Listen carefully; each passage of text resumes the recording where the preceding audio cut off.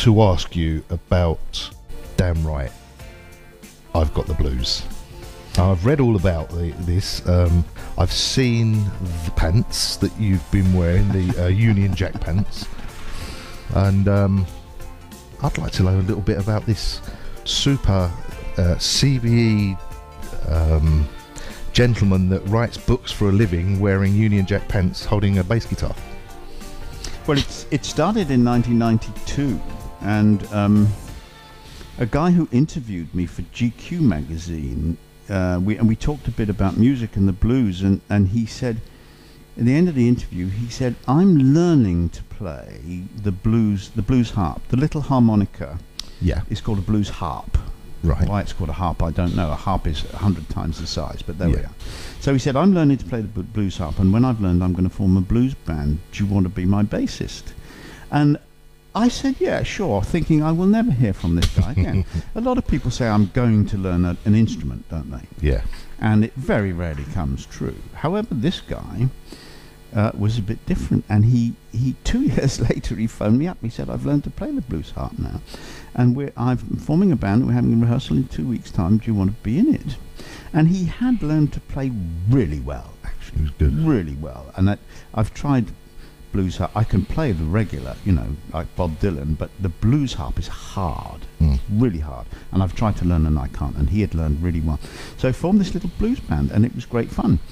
And um, over the years, the personnel changed. Uh, and then, and eventually, it came to an end. But we played together for something like 25 years. Really? Um, and it was great fun. Uh, I'm, I am in another band called Right. Clog Iron, and that's that one's still going, and we're still well. The the last social event that I went to before lockdown was a gig we played Yep. in uh, in um, Rosslyn Park Rugby Club. We played. One of the, the the lead guitarist is a supporter of the club, so we played at their dinner dance, and um, that's the kind of thing we do. We don't get paid. We don't. We don't It's fun. we don't feel we play quite well enough to ask for money. I don't know. But you know, we do get the audience. That that that gig was that dinner dance was a disaster because lockdown was just coming Yeah. and nobody wanted to come out. So we, we instead of 200 people, we had about 25. Oh, But you know what? We rocked the place. we had every one of those people on their feet yeah. dancing away by midnight. It was it was great, and that's what we do. We're not, um, you know, we're not virtuosos on the instruments, but the band playing together is actually quite good. Good drummer, one or two good voices in the band, and uh, you know that was a good night, and we we really did well as you know a band that comes along and makes you want to get on your feet and dance. I Have a dance, yeah. Do you not think perhaps you could take the band to Germany where you're incredibly. You'd fill stadiums, wouldn't you? We we have actually played in Germany. Oh, really? Yeah. The um, current band? Actually, it was Damn Right. No, Damn Right played a couple of times in Germany during, admittedly, it was during the Frankfurt Book Fair. Right. So it was a bit of a publicity stunt as well as just of a gig. Um, but there are people in the book business all around the world who remember our gigs in Frankfurt as a Oh, highlight. sure they do. We used to play. We'd play on the first night of the fair, uh, and um, you know, to to let you into a little secret, it was very popular because of the f- pe- people went there to pull. they because they thought they'd have a little have a little um, you know fling for the six days of the fair. Right. What goes on at the fair stays at the fair. bit like Vegas. Anyway, um, but of yeah. course, you've been a band member, wouldn't be in, interested in any of that. I'm afraid not. I'm afraid not. That and the fact you're probably like me, too scared of your wife. Uh, there is that. yes. Um, a couple more things I'd like to ask you. I'm, I'm, I'm intrigued about this statue yes. uh, in Santa Monica. Is it? Uh, Sans, uh, it's in um, it, it's in a, a town called Vitoria, uh, which is in northern Spain. It's the capital of the Basque country, and it's outside the cathedral. People laugh when I say it's like a saint, you know, outside. The It looks like it. If you've seen the pictures, and if you haven't, have a look. but uh, I have not. I have not lived the kind of life that would um, permit me to be beatified by the Pope. Anyway, um, I I started to go. th- They wrote to me. The people from that town wrote to me. Um, the, the Pillars of the Earth is very very popular book in Spain. Yeah. And um, they wrote to me and they said, We're refurbishing our cathedral and we're having a fundraising dinner. Would you consider coming to make a, a speech at the dinner? And you know, I love cathedrals. I had never seen this one. And uh, so I went. And um, and they said, of course, we'll pay your hotel and first class airfare. I said, no, no, I'll pay my own way. It's a it's a charity. I don't want Yeah. you to pay give charity money to me. I'm going to have a good time. I'm going to go around the cathedral anyway. I I went there several times afterwards, and I sort of got a bit involved in it, and it was very interesting because as they were refurbishing the cathedral, they built steel staircases so that you could go all the way up to the roof, and you could see as they, they were taking away the surfaces, and you could see inside, and then down deep there were skeletons under the floor. Really? and the whole it was it was very interesting and they made it into a visitor attraction. And um, so and of course they would take me out to dinner and you know dinner in Spain you, you get there at 10 o'clock. You don't get anything to eat till half past 11 by which time you're you're pie-eyed with the rioja Yeah. so I had a great time there, and one day they said to me, "We'd like to do a statue of you. What do you think?" I said, "My goodness me! Nobody's ever asked me that before. Of course, I'd love it. How flattering!" Yeah. And so there it is now. It's it's a good one too. It's It is a actually. likeness. It is very good likeness. They've got the hair perfect. yeah, yeah, and it's And what a um, legacy. And people um people take selfies with with my statue outside the cathedral. It's great. Strange, isn't it, to think that people are standing taking pictures of Funny you. Funny thing, yeah. Perhaps they think you're a saint already, Ah, yes. I think. or um, maybe not. I think they know. I think they know a bit too much about me. Mm. I'm going to leave that one there. Um, the other thing that I was interested in, and I've said this before to somebody, you've been writing books sort of 40 years. Yeah. Where and how do you keep coming up with, without kind of trying, without repeating yourself from a previous book, or, uh, you know, how do you bring the freshness to it all the time?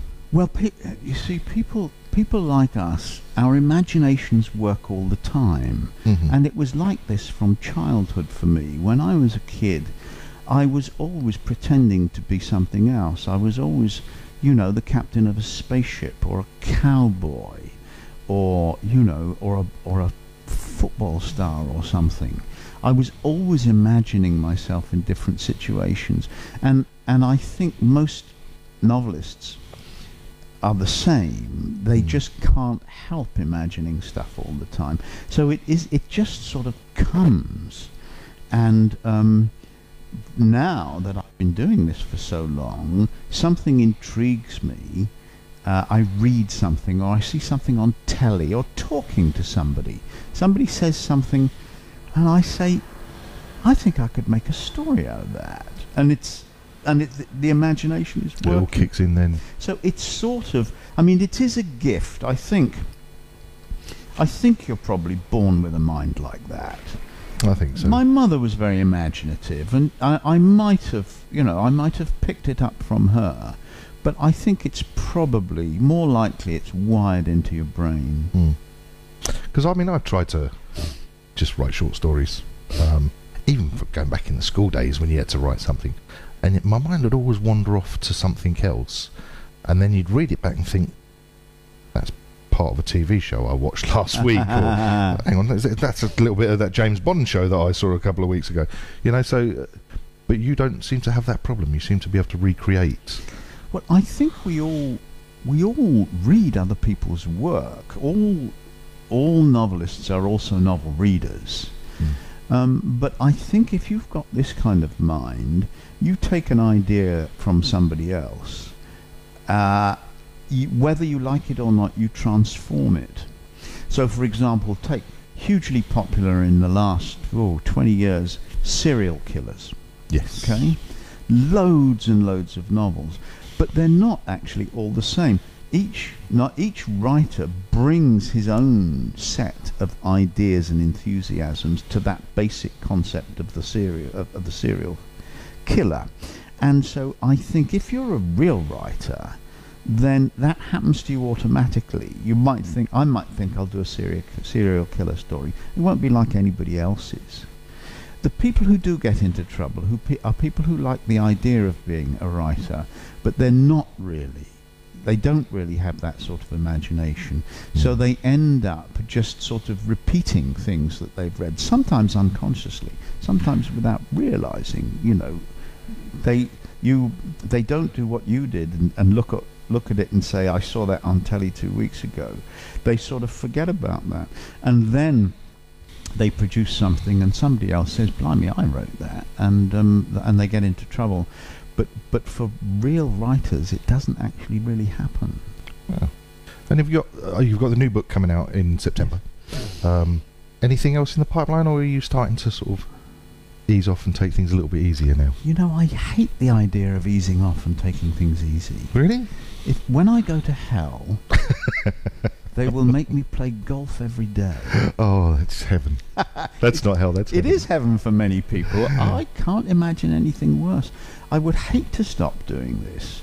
And um, actually, with really with most creative people, you know, musicians and painters and so on, poets, they don't really stop. They slow down when they start Yeah. to get a bit frail. But um, you don't you don't see, you know, Paul McCartney hasn't retired, and he's No, that's older true than. I am. He's in his Yeah. mid seventies, isn't he? Paul McCartney's still, and I'm still buying his records. He's making, still making great music.